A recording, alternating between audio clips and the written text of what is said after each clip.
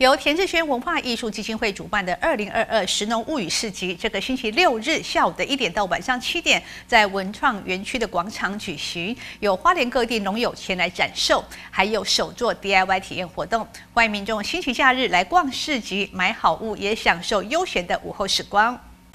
田志轩文化艺术基金会连续多年举办小农市集，让在地农民有展售商品的平台，也让更多民众看到花莲优质的农特产品和文创商品。今年以“食农物语”为主题，邀请花莲各地农友前来展售。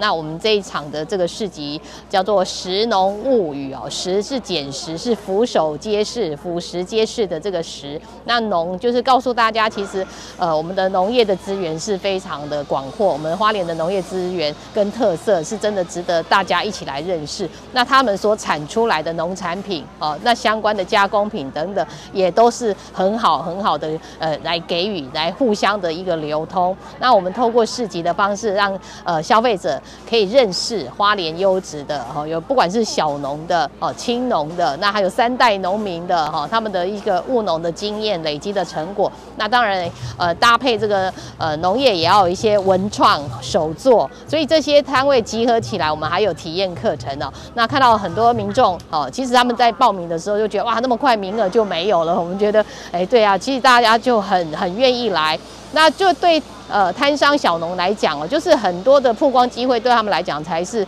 真的是实质上的，他们的收益可以增加，这也是我们办这个市集很重要的一环。石农物语市集有许多友善的农产品和加工品，现场让民众选购，还有蕨类生态瓶 DIY 台球制作，非常适合亲子共同来体验。其他还有文创商品、特色手工艺作品、美食品尝等。石农物语市集带领大家认识花莲小农的农产和在地职人的 DIY 体验。星期天还有一个下午的活动，田志轩基金会欢迎大家一起到文创园区逛市集，买好物，享受悠闲的午后时光。